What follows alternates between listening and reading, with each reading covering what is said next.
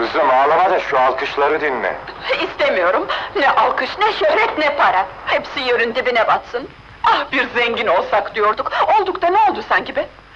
Bana bak. Murat'ı mı istiyorsun yoksa? Alay mı ediyorsun be? Tabii Murat'ı istiyor. Söylesene kızım. Murat, Murat! Gel ya! Hani çarparsam... sö-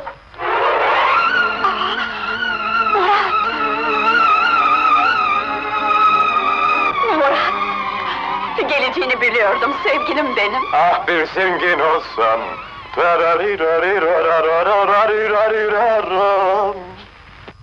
Sersem! Allah cezanı versin senin! Ne oldu kız gene?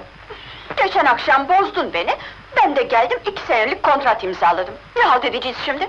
Ne deriz herife? O herif dediğin bir melek. Kontratı yırttı. Serbestsin. Ha, Deme! Öyleyse hemen evlenelim, Hemen Zeynep. bu perşembe. Pek. Dur giyineyim beraber çıkalım.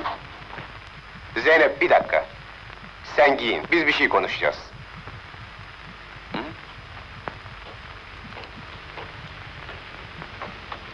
Bak arkadaş, düğününüz benden ama bir şartla. Şimdi gidip o kadınla ilişkini keseceksin. Sana iş mi lazım? İstediğinden alasını ben vereceğim. Pek. Bir an evvel halledeceğim. Sen gene erkete de durursun. Ee, nerede kaldı bu? Geç kalıyoruz.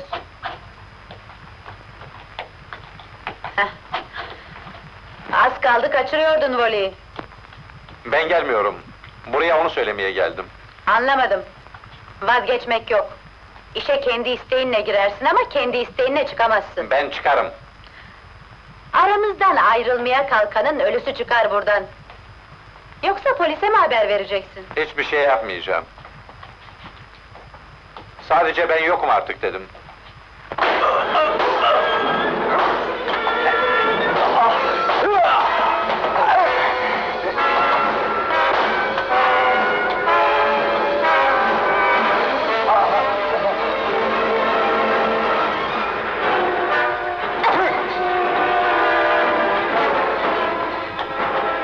Öldürdün onu.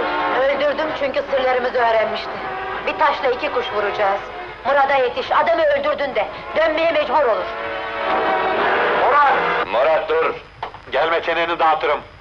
Murat, adamı öldürdün. Nasıl? Öldü, kafasını duvara öyle bir çarpmış ki... Allah kahretsin sizi! Bir de katil ettiniz beni! Şef ben idare ederim diyor. Hayır! İnceldiği yerden kopsun! Dur, dön diyorum şefin emri.